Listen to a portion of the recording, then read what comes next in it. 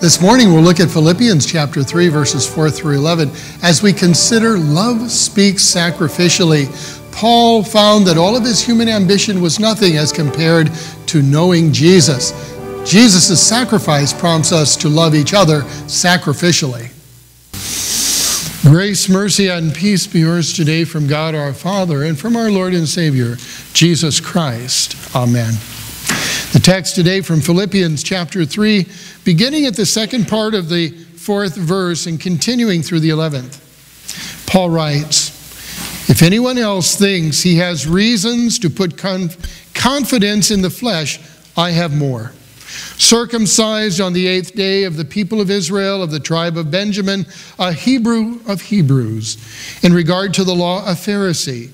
As for zeal, persecuting the church as for legalistic righteousness, faultless. But whatever was to my profit, I now consider loss for the sake of Christ. What is more, I consider everything a loss compared to the surpassing greatness of knowing Christ Jesus, my Lord, for whose sake I have lost all things. I consider them rubbish, that I may gain Christ and be found in him, not having a righteousness of my own that comes from the law but that which is through faith in Christ, the righteousness that comes from God and is by faith.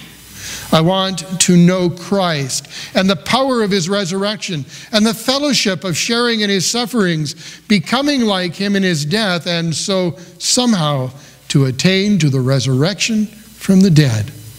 So far, the text this morning.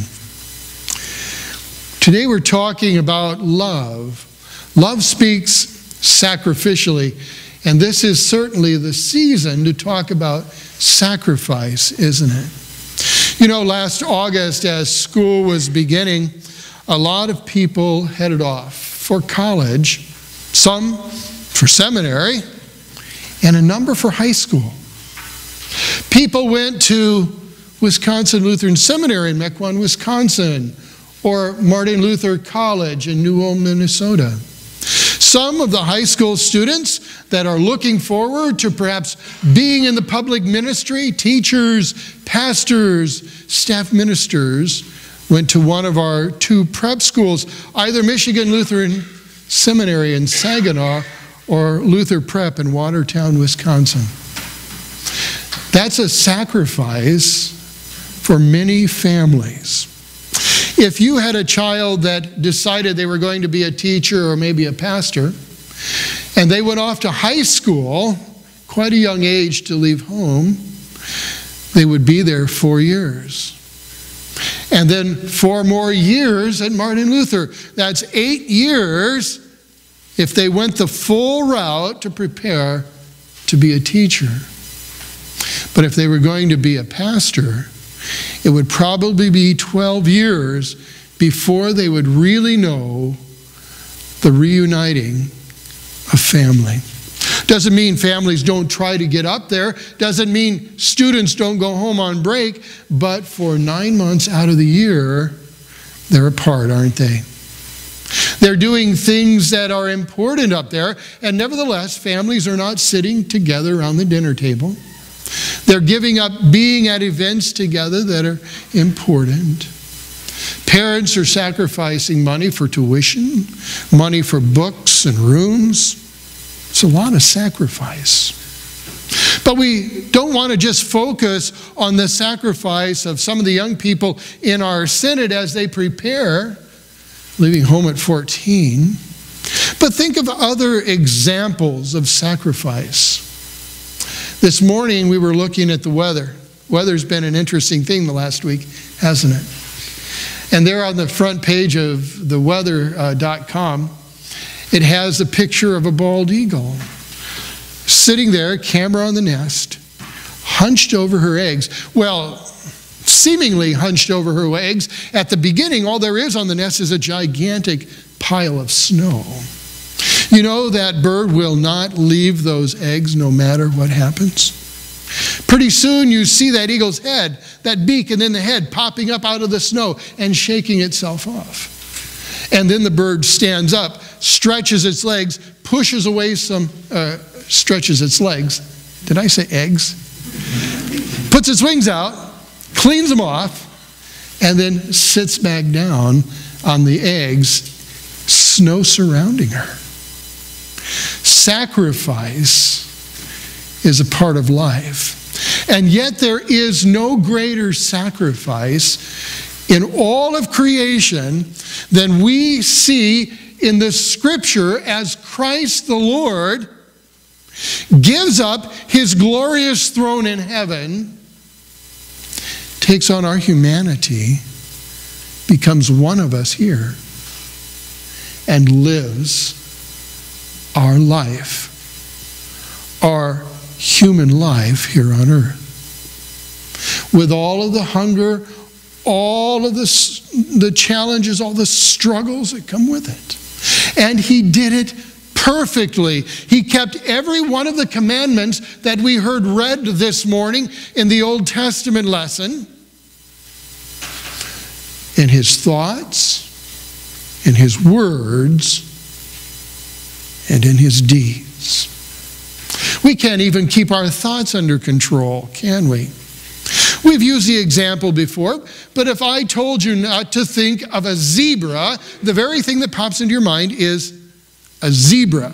If you tell a child not to run around the pool, the child runs around the pool. That's what our fallen nature is. But Jesus himself, totally human, was able to keep the law perfectly. And not just for himself, but for you and I, because it was required of us, wasn't it, to keep that law in every way from the moment of conception to the moment of death. One sin brings death. One sin in a life makes that person a sinner. A sinner has no salvation apart from the cross of Christ, but only death and pain and torment in hell. But Christ endured it for us. He endured the trial, the suffering, the pain, and the crucifixion so that on his shoulders your sin and mine might be forgiven the guilt of that sin destroyed. Now, the proverb says to us, a righteous man sins seven times a day. I think that's conservative. But if we use that number, seven sins a day, times seven days, 49 sins a week, times seven weeks, well, I'm just forget it. It's like 200 and some thousand sins a year. And all we have to do is sin once, and it's all over. We look at sacrifice today. We talk about the importance of sacrifice. We know and understand sacrifice in our lives because parents are sacrificing for children. Children are sacrificing for parents. People sacrificing for each other in little ways all the time. But Paul relates to us and to the Philippians that his life before Christ was one of selfish sacrifice. And that's what we have apart from Christ selfish sacrifice. He gives us examples. Paul, you know, was named Saul at birth. That was his Hebrew name. Saul said he was an exemplary Hebrew among Hebrews. He was not of mixed lineage. He could follow his family's pure ancestry all the way back to the tribe of Benjamin, who was the child of Jacob, whose name God changed to Israel. Not only that, but in everything he was observant.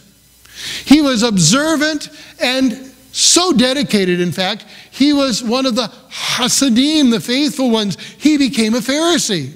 And there was nothing against him as a Pharisee because he zealously upheld that role as a leader in Israel. Not only so, not only was he progressing beyond those of his age who were Pharisees, but he was so zealous that he even persecuted the church of Christ. And we know about his conversion as he took letters of arrest to Damascus in order to seek out Christians there and haul them back to Jerusalem for trial. He was a Jew's Jew, so to speak. And from a Jewish point of view, there was not one thing that could be held to his account. He had the respect of his, his superiors. Well, what does Paul say today? He tells us, Whatever was to my profit, I now consider loss for the sake of Christ. What is more, I consider everything a loss compared to the surpassing greatness of knowing Christ Jesus my Lord, for whose sake I have lost all things.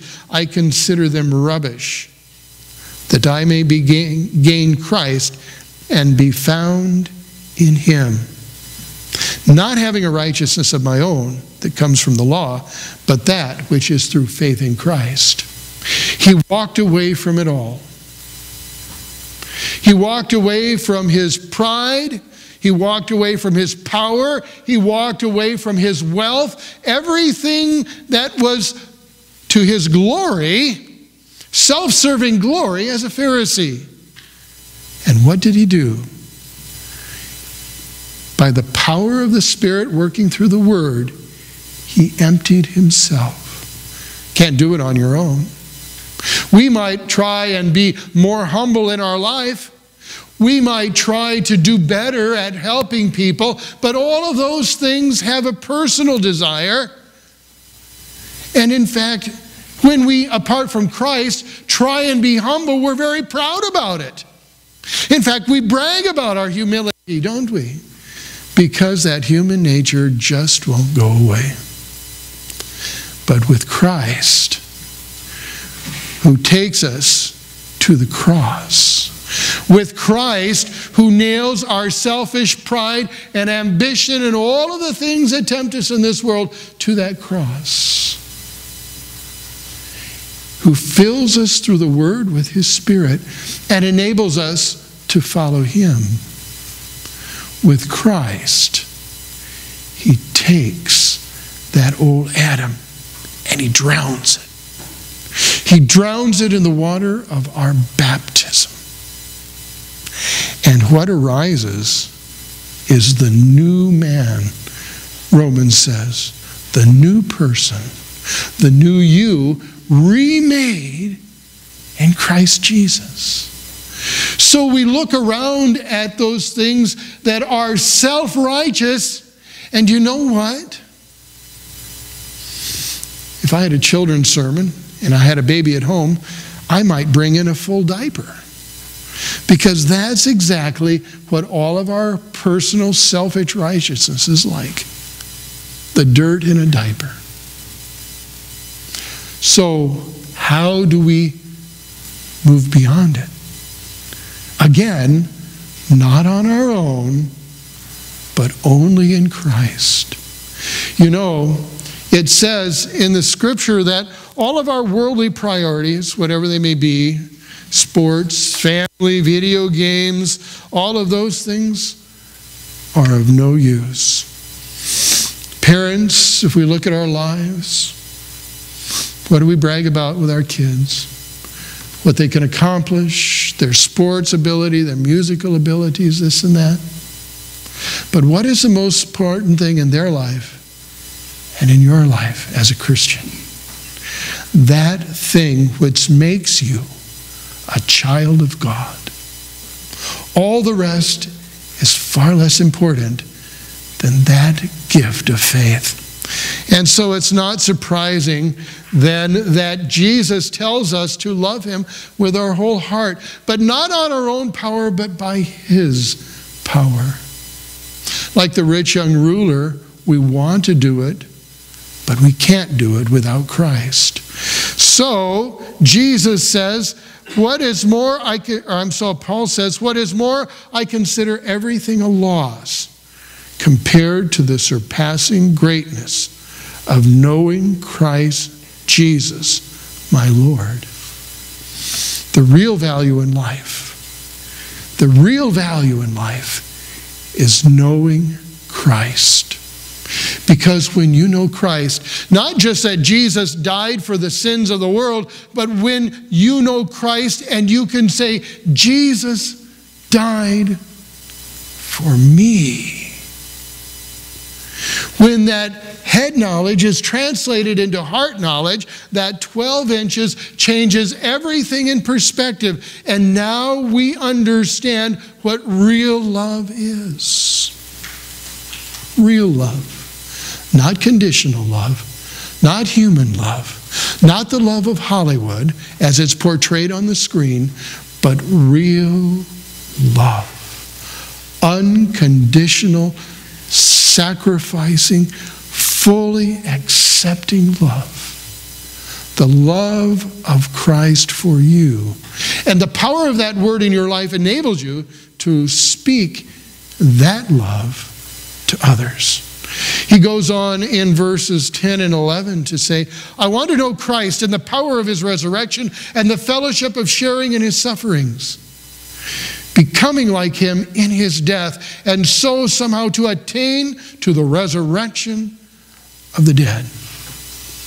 This morning, Paul isn't encouraging you to walk away from your life, to leave your job, to leave your family, to become uh, empty in your bank accounts. He's not calling you to do that. But He's telling you that these things are only means. They're means that God has gifted you with in order that you may have your vocation and that little circle of life where you live to share His love with others. It may have to be done sacrificially, it may have to be done at the cross.